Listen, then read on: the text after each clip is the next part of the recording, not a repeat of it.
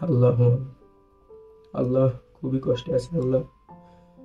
আল্লাহ, তুমি এত পরিমাণ তীব্র শীত দিছো আল্লাহ। এই শীতের কারণে বাইরে কোথাও যাইতে পারি না আল্লাহ, ঘুরতেও পারি না ঠিক মতো আল্লাহ।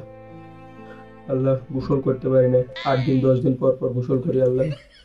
আল্লাহ আল্লাহ, খাইতে পারি না। পানি ঠান্ডা হলে আল্লাহ। থাকতে পারি না আল্লাহ। পানি খরচ করার ভয়ে আল্লাহ। আল্লাহ সারাদিন ঘরের ভিতর ল্যাপের তলে শুয়ে থাকতে হয় আল্লাহ। একা একা কতক্ষণ শুয়ে থাকা যায় বলো? আল্লাহ তুমি তো সিঙ্গেলদের কষ্ট বুঝবে আল্লাহ।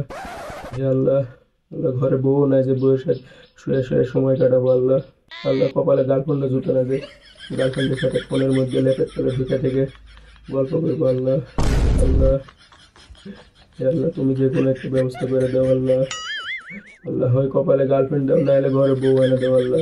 আল্লাহ, তারপর না হয় তুমি এরকম শীত দিও, আল্লাহ। আল্লাহ, এখন অন্তত তুমি শীত কমিয়ে দাও, আল্লাহ।